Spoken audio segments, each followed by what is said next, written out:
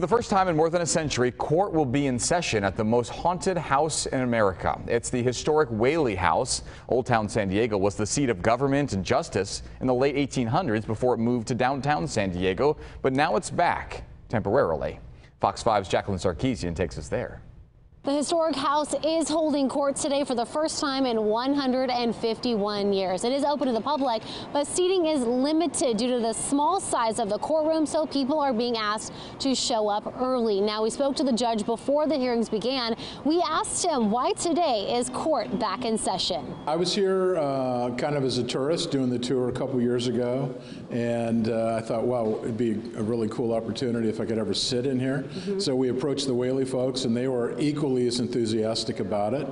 And so it's a real exciting opportunity to be able to sit where my colleagues sat 1871 when it was a rustic and rough and rugged old town before San Diego was fully developed.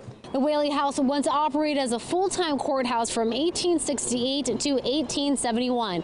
It's located here in Old Town, which used to be the seat of government before moving downtown. It's the second courthouse in San Diego, and today it is revisiting its roots. For one day only, the Whaley House will hold official court business with Judge Richard S. Whitney presiding. Proceedings are open to the public, but like I mentioned, seating will be limited due to the smaller size of the courtroom. That means no jury will be present for any of today's hearings. Everything you see in here is original, including the bench and chairs. Opening comments were in the morning and in celebration, there was coverage on the significance of the one-room courthouse, its history, and the judges who traveled by horseback all the way from Los Angeles to San Diego. We spoke with some people who showed up to be here for this momentous occasion. We're both uh, locals, uh, raised here, so it's a very important significance, Old Town, to our being and living in San Diego and just really appreciate the fact it's still here and that it's going to be utilized again.